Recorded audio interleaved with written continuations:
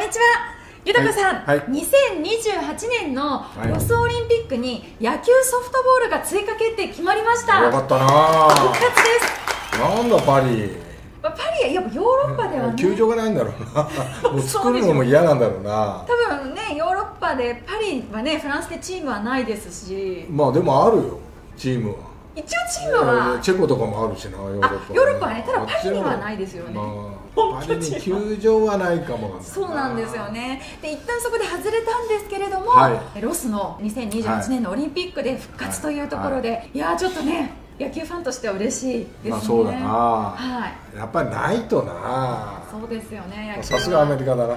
ですうんねそりゃそうだよ。でまあ、東京オリンピックでね日本は金メダルを取ったので、はい。もちろんロスオリンピックでもう2連覇というところがかかるところで、はい。ズバリ豊さんに2028年の侍たちのメンバーの予想をしていただきます。まあメンバーの予想って相対で全体的な予想ではなくて、はい。ポジションも入れて、い。まあ、打順は考えてないんだけど、まあはい。それは打順は皆さんで考えてもらって。まあそうです、だからポジションがどうなるか。まあ、本来だと普通24名が、まあ、大体チーム、ねに必要なメンバーなんですけれども、はい。今回はそうではなくてスタメンとはい。いうところで豊さん選んでみました、はい。あの発表する前にどういう特色のチームになりましたか？まあ、5年後だからねこうなるであろうというトッププレーヤーになってるであろうという選手を選んだ。よおお、うん超近ま未来型、あ今もうトッププレーヤーの選手はいるけどもね。はい。いるけども、まあ、これからの今後も見据えて、はい。まあ、こうなっていくであろうという選手を選んだ、わかりました、はい。じゃあピッチャーまずエースですね。1名。まあこれは佐々木朗希、佐々木朗希投手、うおおん、だと思うよ。その山本由伸投手はもう年齢的にっていうことですかね、もうメジャーですり減っちゃってるんじゃない？ああっていうことも見いやいやそんなことはじゃなくて、はやっぱこうシーズン中やるじゃない。そうなかなか、うん。まあ佐々木朗希も行ってる可能性もあるけどもね、はい。まあでもまあ行ってない前提でい。佐々木朗希という、おーじゃあもう佐々木朗希投手がピッチャーのエース格はいというところ、ははい。い。じゃあそのボールを受けるのは？古賀。あ西武？西武これ松川？の松川もいいかもわかんないけど、はい。古賀っていうのはやっぱキャッチャーとして能力が高いと思うし、ん。やっぱ盗塁殺技術もね今年なんかすごく高まってるし。はい。これ12球団1位かな？おあのー阻止率がね。はい。だからそういう意味では順調に育って5年後にはもうなんか日本を代表するようなキャッチャーに育ってなきゃいけない。なるほど、、はい。やでも初のね代表入りですね。そうだよ。そうだよ。まあここではな。いやここでは。こそうですそうです。そうそうそう。じゃあファーストです。ファーストは牧あセカンドではなくて？セカンドではない、うん。5年後って言ったら結構ポジションコンバートとか、はい。まあいろんなことがあるかなというふうな、まあ、感じはしてるんだよね。はい。まあ、本来セカンドよりももうちょっとバッティングに専念させたいんだったら、まあ、サードファーストとか、はい。まあ、そっちの方がいいのかなっていうふうには思って、うん。まあ、ファースト、はい。牧選手、はい。セカンド。セカンド横山。横山選手っていましたっけ？上田西。ちょっと23歳。あのドラフトにかかかってないんだけど あれ？プロに入ってるかどうかわかんないんだけど、はい。まあ、確実に入るよこの選手は。はいしてると見越して。でも俺はあの子は成長してくると思うんだよ。はい。そしたら、この先も見据えて、はい。横山。はセカンド。いや近未来来ましたね。近未来来たよ。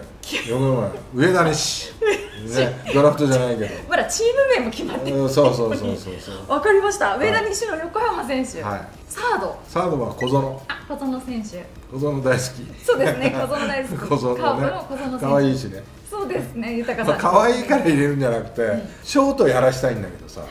ショートはもうちょっと上の選手出てきそうな感じがするんだよね。あのレベル的にっていうことレベルというか守りという。うーん。ね、はい。あまあ、小園。初選出。そうか。そうですね代表は確か初選出ですね、おめでとうございます。はい。ショート。そのショートです。宗山そんなちょっと待って胸じゃなくてですか？宗山あの明治大学。いやこれはあの大学からだからそうですね、えー27、5年後8 20うん。そしたらもうバリバリのショートになってるかおもう見えるんですね、らうんもう見えますよ。いやいやいやこの選手の素質を考えたら、はい。やっぱりね5年後って言ったら、入ってくるよ、ええうんすすごい。これ横山宗山ってまだいない。いや バンバン動いてもらわなきゃ困るから。すごい。もうこの二遊間だよ新しいな。日本のセンターラインは横山宗山みたいあすごないやいや。近未来ですね。うんこれは日刊スポーツでも予想できてないですね。いやいやこれはもう予想しないでしょ。あの日刊スポーツの予想だとセカンドに牧選手。でサードに村上選手だったんですよまあそれは新聞でしょ？はい。いや俺はプロの目として言ってるから。なるほどな。そうでしょ。すごいな、はじゃあ次外野行きますか、はい。レフト？うん。村上。いましたっけ？そんなレフトに村上選手。いやヤクルトの村上えサードで？え？彼はメジャーに行くんだったら俺はサードじゃ無理だと思ってる。はい、評価下げると思ってる。うん。サードの評価だとレフトだったらあの子は足も速いしはい。肩も強いんだよ。うん、俺はメジャーに行きたいとかいろいろ考えるんだったらレフトのポジションが一番いいと思う。なるほど。じゃあこれそれで外野に持っていく。じゃあ来シーズンあたりからレフトにコンバートして。俺はそう考えてる。でこれ俺は俺はって俺のチームじゃないけどな そうですよね、でこのレフト村上選手っていうのはメジャーに行ってレフトの村上ってことですよね。そうそうそう。内野手だとやっぱ今の守備力ではい。少し厳しいかな、はい。メジャーに行くとね、うんうん。まあ、そしたらやっぱレフトにやってレフトのポジションでレギュラーを与えてはい。やらした方がうん。バッティングにもこう影響があると思う、はい、だからレフト村わかりました、上、はい、センター。センター万波。あ万波選手はい。もう身体能力抜群瓦も抜群だよはい。もうこれはもう5年後にはその間にホームランは1回ぐらい取ってる。あ日本ハムでもう取ってるんですね。はいはいねはい。俺が万波だみたいな。そんな感じだ。よもうそのが威厳のあるベテランになってるわけですね、まあそうだね。はい。はい。さあライト。うん。森下。あ阪神の？はおおいなんだよ。思い切りがいいし、はい。外国人打つのうまいよバウアーからカーッみたいあな何かしらでバウアーは出てくるけど。そうですね。動画に1本に1回ぐらいは名前出てきますからね今。まあだけど森下、えーちなみに日刊スポーツさんの予想はレフト吉田正尚選手、はい。でセンターが岡林選手、はい。でライトに万波選手。はい。これちょっともう古いですか？まあ、古いというよりも、メジャーの選手がうん。参加できるかどうかなんあそうですね。シーズン中にやるからさ、はい。だからさあんまりメジャーを意識しない方がいいのかなっていうね、うんうん。まあそんな感じがするし、はい。うん、で DH DH は大谷。これはやっぱり日本の顔だか来てくれますかね？ら分かんないよそれ契約上分かんない。わかんない。これは大谷選手はピッチャーとしてバッターとして DH っていやもう DH もう専門ですね。うん専門。バッターにはい。専念して、そこまで負担かけられない。まあそうですよね。また肘に故障が来たらこもう困る。日本の宝が。そうですねもう打 WBC つだけでいい。もう打つだけでいい打とただこういった大谷選手を呼べる監督じゃないとダメなんですよ。監督はじゃあどうしましょう？そこ来るか。いや俺が考えてるのはやっぱりこうオリンピックをよく知ってる人間がいいかなっていう、じゃあオリンピックに出場したことがまあ、経験者がいいかなと思って、宮本慎也、ああたいいですね。うん。うんうんうん。まあいい頃の年になってるけどね彼も。はい5年後。俺と一回り違うのかな。だから5年後って言ったら、うん、58? あでもねいい年齢ですよね、うん。とても。でやっぱりねある程度年齢がいってる方がいいよ、うん。組織を束ねるのに。はい。兄貴っていうよりもさ、あれじいちゃんみたいな。そのぐらいの方がいいだ栗山監督が、まあ、率いたようにやっぱ年齢がちょっと離れてる今度は宮本慎也さんが束ねるっていう、うん。うん。でもいいかな。かなり。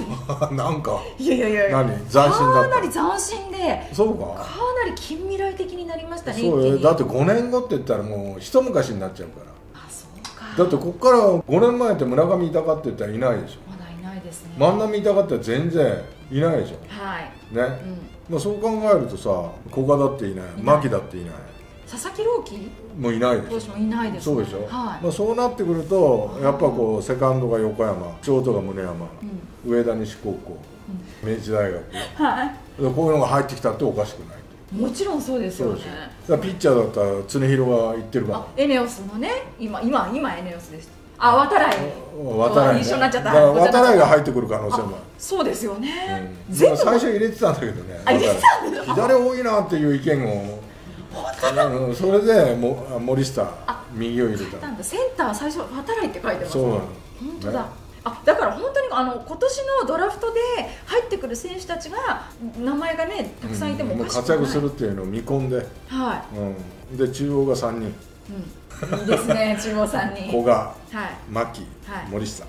うん、ね、一応席巻してますけれどもね、まあね、まあそうなるかなって5年後、うん。非常に楽しみですしまたねこの5年間の間でさらに活躍いしてほしいやそれはもちろんそう、ねもちろんそう。出てくればねいいですし、はい。いやーでもきっとね今日のこの動画どっかのネット記事に多分出ると思うんですよ それ？いやだけど俺はそのまあこの中で言えば、まあ、横山とか宗山とかね、はい。まだプロで一度もプレーしてないけども、活躍が見えるし、まあ、そうなってもらわなきゃいけない。うん。素材だよね、プロ野球として。そうですね。だから頑張ってほしいと思うしね。キャプテンは誰？ももちろん渡来がはい。この外野手の一角をうん。占める可能性だってあるしね、もちろんもちろん、うんだから頑張ってほしいなと思うね。キャプテンは誰ですか？キャプテンはい。牧。もうそういう年齢になるんですね。中央大学。いやそうじゃない。いや彼は優秀だから。だってキャプテンシーもあるから。またこうやって。いやいやいやってもいいよ。もう勝った時はもう大騒ぎして。うんうん。牧中心に、はい。ね、はい、でシャシャでもやってください。みたいなぜはい、ちょっと5年後なので早かったんですけれども皆さんの思う2028年、はい。ロスオリンピックのぜひあの侍のスタメンを教えてくださいコメント欄で。ね。はい、はい